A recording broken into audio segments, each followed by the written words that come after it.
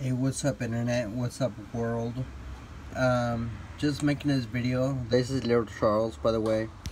Um, just making this video about this imitator that I got.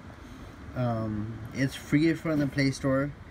Um, as you can see right there, Mega N64 for the Mega N64 for the uh, Nintendo 64.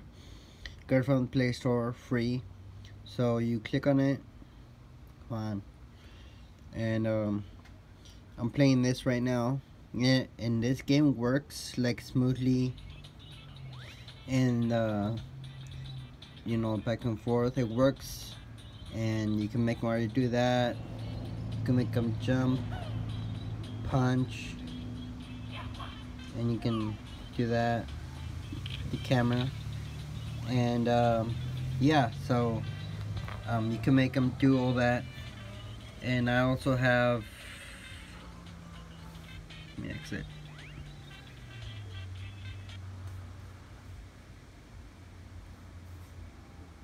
Back. I also have that one.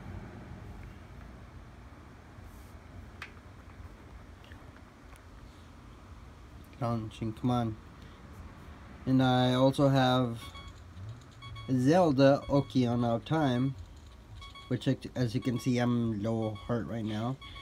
But um yeah so I can't show you everything that because the controller are difficult on this game. But uh you know as you can see you know this is this kid this video is proof that you know that the android can run these kind of games and you know so anyways this again this is the end of my video. So I'll catch you guys in the next video